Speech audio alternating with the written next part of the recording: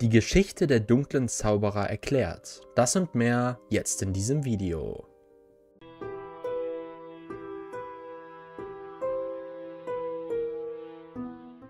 Im heutigen Video werden wir uns mit dunklen Zauberern vergangener Zeiten befassen.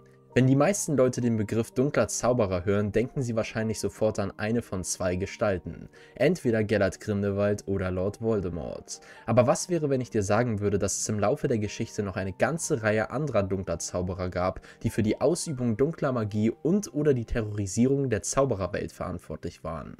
Heute werden wir einen Blick auf einige dieser weniger bekannten Zauberer werfen. Fangen wir also direkt an.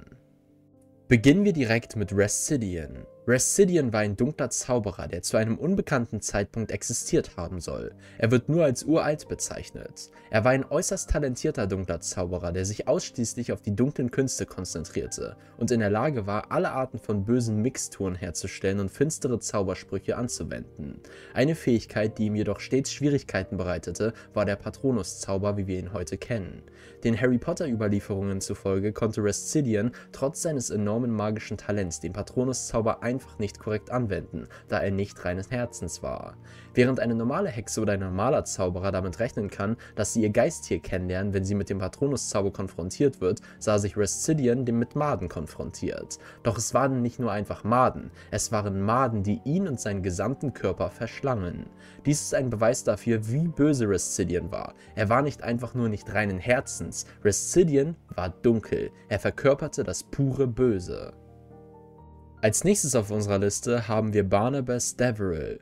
Barnabas Deverill, ein weiterer Vorbesitzer des Elderstabs, war ein Zauberer aus dem frühen 20. Jahrhundert, der sich einen Ruf als furchterregender Zauberer erworben hatte. Um es klar und deutlich zu sagen, Deverill benutzte den Zauberstab gewiss nicht für das Gute, und viele Jahre lang nutzte er den mächtigen Zauberstab, um die Welt der Zauberer zu tyrannisieren. Doch schließlich endete seine Schreckensherrschaft, als er von einem rivalisierenden Zauberer besiegt und getötet wurde. Als nächstes haben wir Herpo der Üble. Herpo der Üble war ein alter dunkler Zauberer aus Griechenland. Es ist völlig unbekannt, wann Herpo auf der Erde wandelte, aber wir wissen, dass es vor sehr langer Zeit war. Lange bevor bekannte dunkle Zauberer auftraten, wird Herpo gemeinhin als einer der frühesten bekannten Vertreter dunkler Magie betrachtet. Während seiner Existenz widmete Herpo sein Leben der Entwicklung und Schaffung einiger der schlimmsten Formen der Magie. Er erschuf sogar den ersten Basilisken.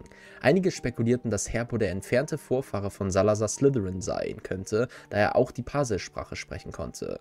Herpo wurde schließlich auf einer Schokoladenfroschkarte verewigt. Was für eine Ehre.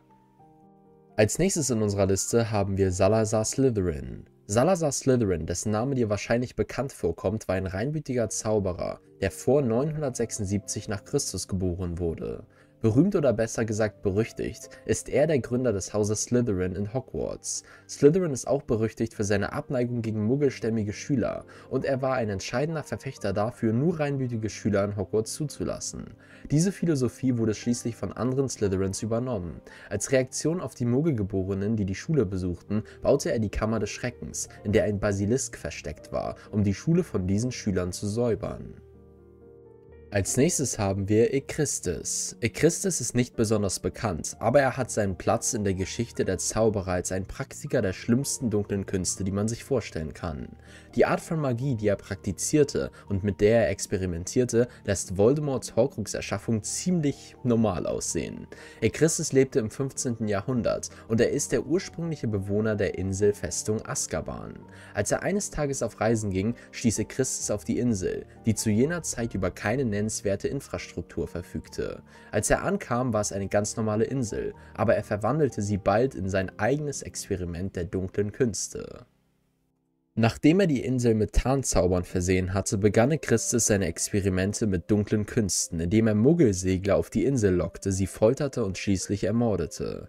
Bevor er die Insel betrat, war Christus schon verrückt, aber nach einiger Zeit auf der Insel wurde er völlig wahnsinnig, da er den Bezug zur Realität komplett verlor. Er vertiefte sich so sehr in seine Experimente mit dunkler Magie, dass er den Verstand verlor, und die armen Matrosen, die er auf die Insel brachte, erlebten dies aus erster Hand. Es wurde spekuliert, dass er Christus in seinem Wahnsinn entweder unwissentlich oder vielleicht absichtlich Kreaturen erschaffen hat, von denen wir heute wissen, dass es sich um die Dementoren handelt, die bösesten Kreaturen in der Zaubererwelt.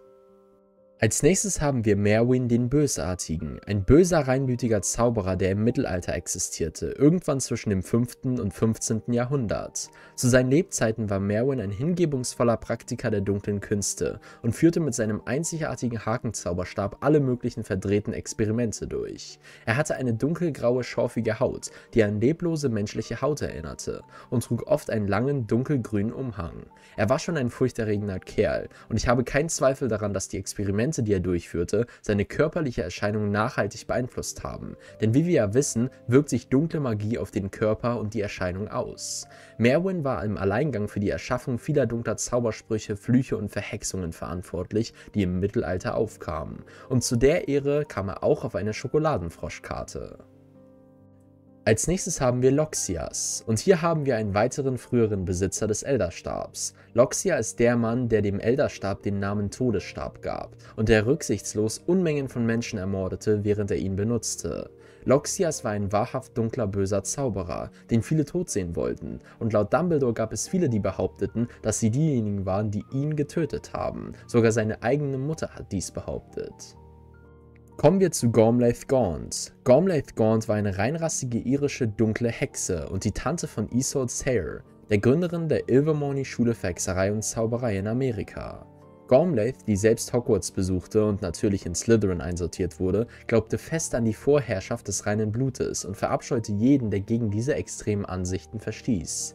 Ihr Hass ging so tief, dass sie ihre eigene Schwester und ihren Schwager ermordete. Sie hatte auch etwas mit Voldemort gemeinsam. Sie war unfähig, Liebe zu empfinden. Gormlaith hat vielleicht keinen großen Aufruhr in der Welt der Zauberer verursacht, aber sie hat sicherlich ihre Familie sehr doll terrorisiert. Als nächstes haben wir Emeric der Böse. Der erste offiziell bekannte historische Besitzer des Elderstabs war ein Zauberer mit dem Namen Emeric der Böse. Obwohl der Zauberstab vor Emeric in den Händen anderer Zauberer gewesen sein mag und auch danach in den Besitz anderer gelangte, ist Emeric der erste aufgezeichnete Zauberer, der ihn besaß. Emeric wurde als kurzlebig, aber äußerst aggressiv beschrieben und terrorisierte den Süden Englands im frühen Mittelalter. Als nächstes haben wir Godelot. Godelot war einer der bekannten Besitzer des Elderstabs, bevor dieser in den Besitz von Grigorowitsch, Grindelwald, Dumbledore und anderen gelangte. Godelot benutzte den Elderstab, um die Grenzen der Magie zu erweitern und betrachtete ihn als seinen Lehrer, der ihm beim Schreiben des bösen Buches half. Durch den Einsatz des mächtigen Zauberstabs entwickelte Godelot schließlich eine Vielzahl dunkler Zaubersprüche und Flüche. Sein eigener Sohn tötete Godelot schließlich, indem er ihn im Keller einsperrte, um in den Besitz des Elderstabs zu gelangen. Und als letztes haben wir Morgana Le Fay. Morgana Le Fay ist eigentlich eine pseudohistorische Figur, die in vielen Versionen der Folklore als Erzfeindin des mächtigen Zauberers Merlin gilt. Morgana ist auch in der Harry Potter Folklore präsent, wo sie als äußerst böse Hexe dargestellt wird und auch hier als Erzfeindin von Merlin, der nach Hogwarts ging, agiert. Viele betrachteten Morgana als die mächtigste Hexe aller Zeiten, die jeden Aspekt des Guten in der Welt wirklich verachtete und alles unternahm, um dagegen anzukämpfen. Und das war's mit diesem Video. Wenn ihr mehr über diese bösen dunklen Zauberer wissen wollt, dann hinterlasst gerne einen Kommentar unter dem Video. Falls dir das Video gefallen hat, gebt dem Video doch gerne einen Daumen nach oben und lass ein Abo da. Ich danke dir für deine Aufmerksamkeit und bis zum nächsten Mal bei Harry Potter Wissen.